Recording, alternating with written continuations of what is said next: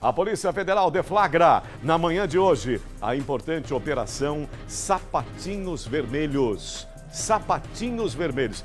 Veja você, o objetivo claro, inequívoco, explícito de reprimir a produção compartilhamento e posse, produção, compartilhamento e posse de imagens, de fotos e vídeos com conteúdo de abuso sexual infantil. Coisa muito séria, a caça implacável aos monstros, a esses pervertidos, a esses imorais, a esses depravados. Que coisa horrorosa, minha gente. Os policiais federais cumpriram dois mandados de busca e apreensão expedidos pela segunda vara federal numa residência. Atenção, Beca. Fica aqui em Aracaju. Tem outra na cidade de Estância. Se liga, presta atenção. O inquérito foi instaurado a partir de investigações realizadas pelo Grupo de Repressão a Crimes Cibernéticos e ao Abuso Sexual Infanto-Juvenil da Superintendência Regional de Polícia Federal em nossa capital, Aracaju e então identificou a prática de crimes tipificados no Estatuto da Criança e do Adolescente, o ECA.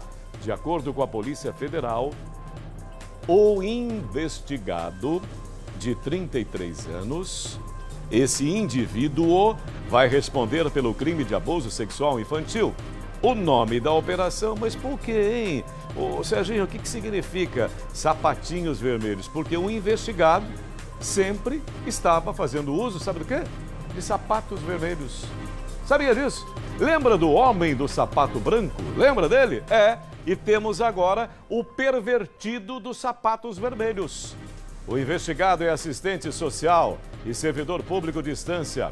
A Prefeitura de Estância, por meio de nota, ela, por outro lado, informa que a Polícia Federal está contando com o total apoio e restrito apoio, respectivo apoio do Conselho Municipal para instruir a investigação individual perfeitamente.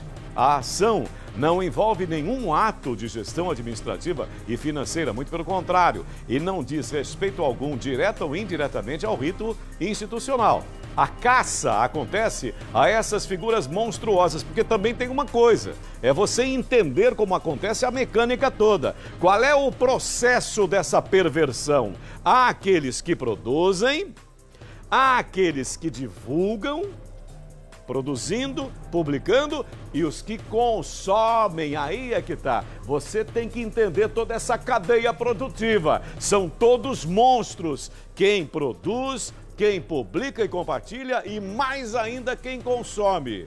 São figuras monstruosas, muitas das vezes travestidas de gente boa. Ah, nossa, mas o cara era até simpático, né? É, o cara era bonzinho, o cara era educadinho. Esses são os piores, hein?